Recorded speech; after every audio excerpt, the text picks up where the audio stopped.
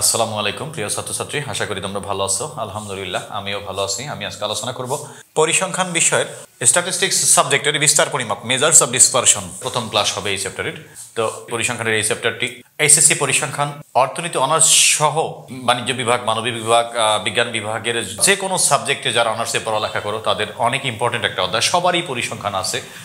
সবাইকে পরিসংখ্যান সাবজেক্টের এই অধ্যায়টি অবশ্যই পড়তে হবে। অনার্স লেভেলের যে কোনো সাবজেক্ট মাস্টার্স লেভেলের যে কোনো সাবজেক্টে যাদের পরিসংখ্যান আছে, তাদের জন্য অনেক ইম্পর্টেন্ট একটা অধ্যায়। শুধু অনার্স লেভেলের পড়ালেখা তা নয় উচ্চতর যে কোনো পড়ালেখার ক্ষেত্রে পরিসংখ্যান যাদেরই আছে, তাদের সবার জন্য প্রযোজ্য।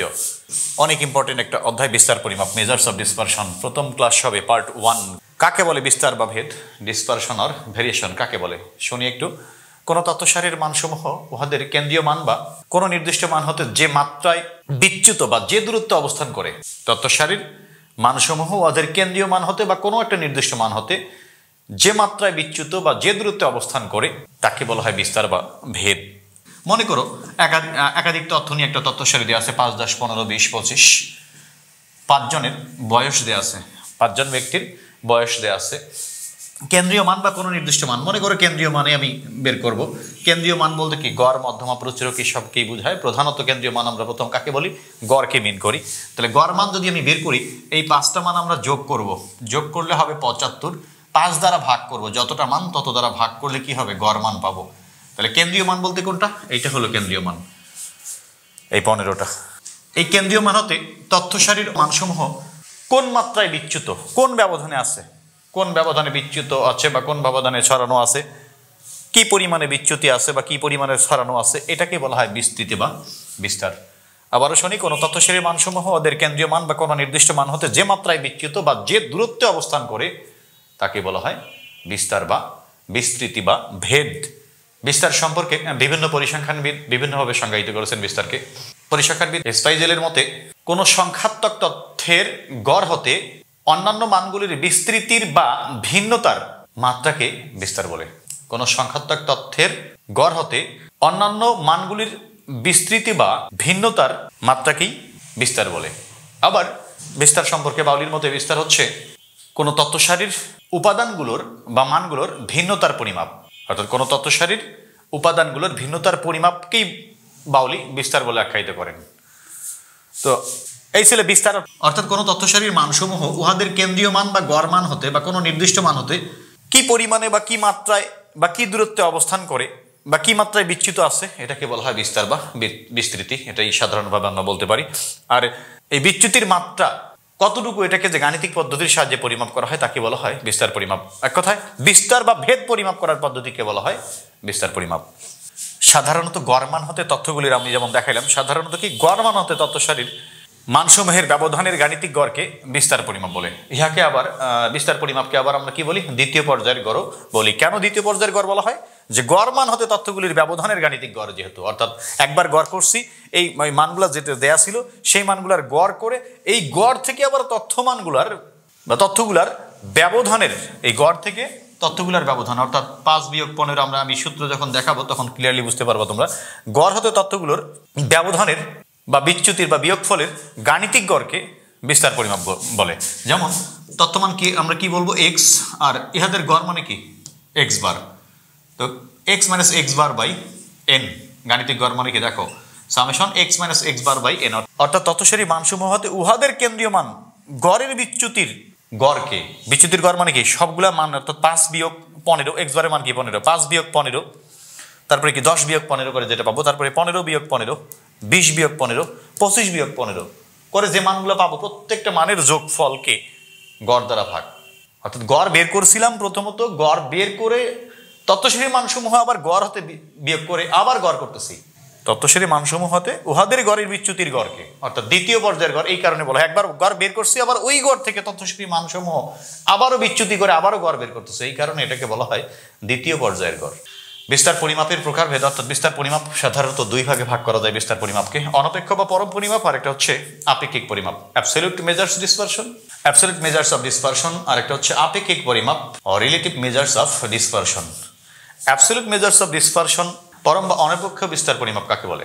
পরম বা অনপেক্ষ পরিমাপ হচ্ছে যে পরিমাপ সমূহ বিস্তারের মূল সংজ্ঞা হতে নির্ণীত। অর্থাৎ কোনো একটা নিবেশনের মধ্যক মান হতে বা কেন্দ্রীয় মান হতে, মধ্যক মান বা কেন্দ্রীয় মান হতে তত্ত্বসারীর মানসমূহের তত্ত্বসারী মান, মধ্যক মান মানে কি? কেন্দ্রীয় মান। কেন্দ্রীয় মান হতে তত্ত্বসারী মানসমূহের বিস্তৃতি পরিমাপ করে তাকে বলা হয় বিস্তার পরিমাপ।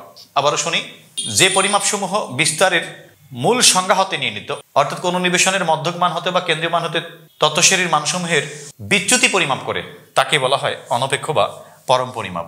অনপেক্ষ বা পরম পরিমাপ হচ্ছে চার ধরনের। এটা আমি একটু পরে লিখতেছি। তো এখন এরপরে দেখো আপেক্ষিক পরিমাপ, আপেক্ষিক বিস্তার পরিমাপ কাকে বলে? মনোযোগ সহকারে শুনি।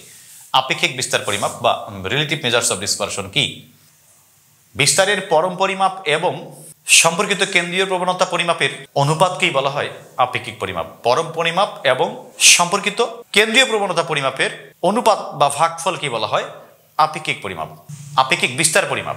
এই আপেক্ষিক বিস্তার পরিমাপের পরিমাপ সমূহের কোনো একক থাকে না।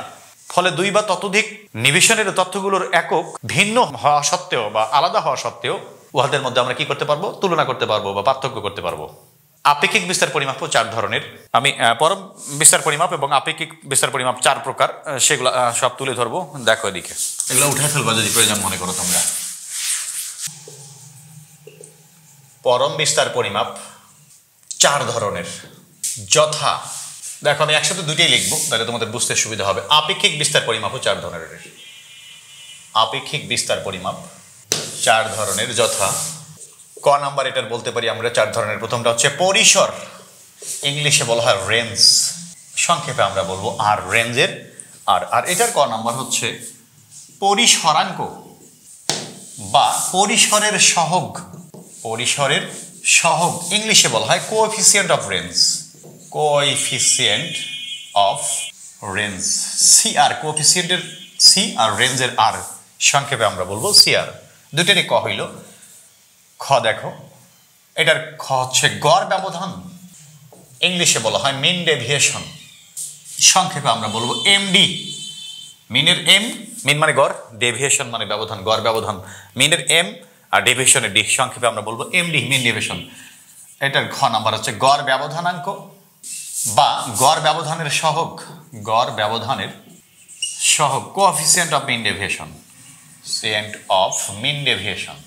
সিএমডি কোঅফিসিয়েন্টের সি মিনের এম এবং ডেভিয়েশনের ডি সংক্ষেপে আমরা বলব সিএমডি গ নম্বরে দেখো, পরিসর, গড় ব্যবধান, এরপরে হলো পরিমিত ব্যবধান স্ট্যান্ডার্ড ডেভিয়েশন স্ট্যান্ডার্ড এস ডেভিয়েশনের ডি এস ডি এটাকে সিগমা দ্বারা নির্দেশ করা হয়। কি দ্বারা?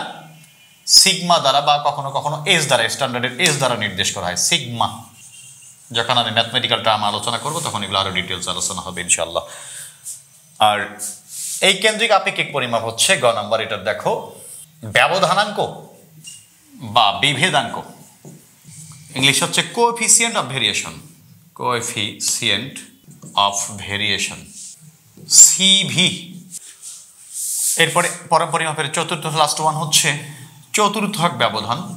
চতুর্থক ব্যবধান, কোয়ার্টাইল ডেভিয়েশন, কিউডি, আপেক্ষিক পরিমাপের চার নম্বর ধরন হচ্ছে চতুর্থক ব্যবধানাঙ্ক বা চতুর্থক ব্যবধানের সহগ সহগ coefficient of quartile deviation C QD কোঅফিসিয়েন্টের C, কোয়ার্টাইলের কিউ আর ডেভিয়েশনের ডি। সংক্ষেপে আমরা বলব কি? সি কিউডি তো খেয়াল করো সবাই দেখো এটা পরম পরিমাপ এবং আপেক্ষিক পরিমাপ, একটার সাথে আরেকটা রিলেটেড একটার সাথে আরেকটা সম্পর্ক আছে। দেখো, পরিসর পরিসরাঙ্ক। গড় ব্যবধান, গড় ব্যবধানাঙ্ক। পরিমিত ব্যবধান, সাধারণত সিরিয়ালি আমরা কি বলতাম? পরিমিত ব্যবধানাঙ্ক। এটা না বলে কি বলা হয়? ব্যবধানাঙ্ক বা বিভেদাঙ্ক। চতুর্থক ব্যবধান, চতুর্থক ব্যবধানাঙ্ক। এগুলো সবগুলোরই কি এবং এগুলাকে কেন্দ্র করে আমরা ম্যাথমেটিক্যাল টার্ম করব। এগুলোকে কেন্দ্র করে আমাদের এই অধ্যায়ের ম্যাথ আলোচনা আসবে। আগামী ক্লাসে আমরা আলোচনা করব পরিসর ও পরিসরাঙ্ক। কাকে বলে এবং এই সংক্রান্ত ম্যাথমেটিক্যাল টার্ম আলোচনায় আসবে। তো প্রিয় ছাত্রছাত্রী, আমার ক্লাস যদি ভালো লাগে, অনেক কষ্ট করে আমি তোমাদের উদ্দেশ্যে ক্লাস নেই। আমার ক্লাস যদি ভালো লাগে, তো সবাই আমার চ্যানেল সাবস্ক্রাইব করবা। আমার প্রত্যেকটা ভিডিও প্রতিদিনের ভিডিও তোমরা সবাই বিভিন্ন মাধ্যমে তোমরা ইনভলভ আছো, সামাজিক যোগাযোগ মাধ্যমে, সেগুলোতে তোমরা শেয়ার করবা, নিজের টাইমলাইনে শেয়ার করবা, বিভিন্ন গ্রুপে শেয়ার করবা। তারপর ভালো লাগলে লাইক দিবা কমেন্ট করবা, আমি আরও ইন্সপায়ার ফিল করি। তোমরা যদি ভালো বলো। আবারও বলছি, সবাই চ্যানেল সাবস্ক্রাইব করবা এবং প্রতিদিনের ভিডিওগুলো শেয়ার করবা। তো সবাই ভালো থাকো সুস্থ থাকো। আল্লাহ হাফিজ।